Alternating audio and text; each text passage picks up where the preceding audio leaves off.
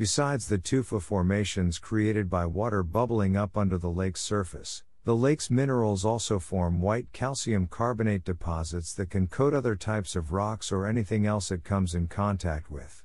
If you look closely, you can see some spots where it has flaked off the underlying rocks.